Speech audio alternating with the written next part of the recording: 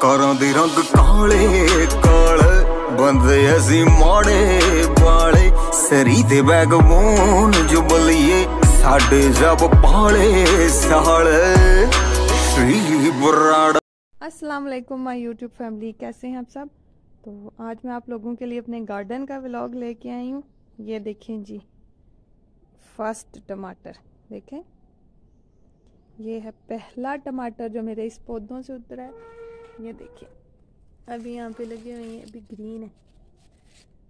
ये है जी। आज तो मैं फ्री थी तो सुबह सुबह मैं इन्हीं के साथ लगी हुई थी। बड़े प्यारे लगते हैं, जब ये रेड रेड हो जाते हैं, इतने खूबसूरत लगते हैं। ये यहाँ पे होंगे।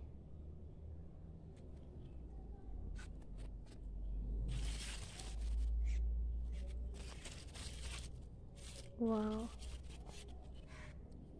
तो ये पिद्दू सा उतरा है। तो छोटे छोटे से मैंने वैसे ही ना बीज डाले थे। ये देखिए, इतने इतने बड़े बड़े पौधे बन गए ये।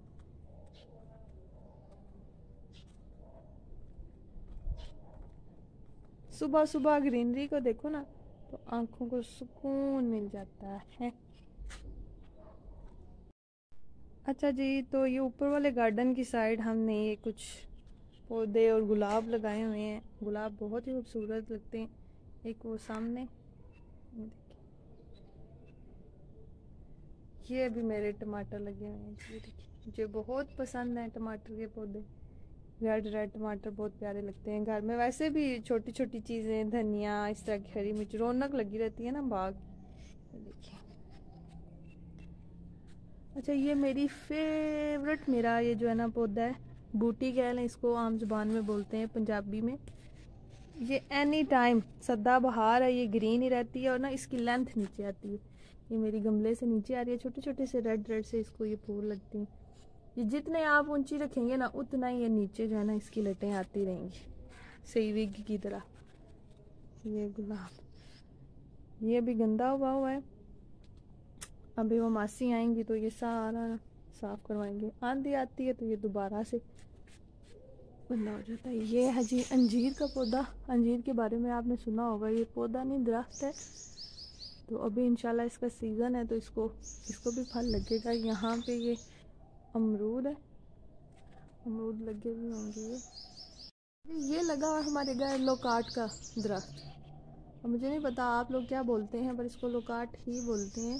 अभी ये येलो पेल में है तो जब ये सही अपनी जगह पे मीन्स के जब ये पक जाएगा तो ये ऑरेंज शेड में हो जाएगा इसका कलर जैसा कि ये ऑरेंज ये वाले। किधर ये ये वाला। ऑरेंज हो जाएँगे, ये भी बहुत मीठे होते हैं। अल्हम्दुलिल्लाह, रौनक लगी रहती है घर में, फल लगा हो तो। अच्छा लगता है। ये आ जाते हैं जी गमले तो ये गमले में भी अगेन टमाटर ही है। और ये भी सदा बहार है। ये एनी टाइम ग्रीन जो है ना, घास इसको जो आम ज़ुबान में बोलते हैं, ये घास टाइप है, इसको फूल वगैरह नहीं लगते। ऐसे। ये है और ये देखें, ये छोटा सा पिद्दू सा मेरा पौधा यार इसको भी फूल लगा हुआ है। ये मैंने खुद ही अपने से डेकोरेशन की हुई है, इनकी।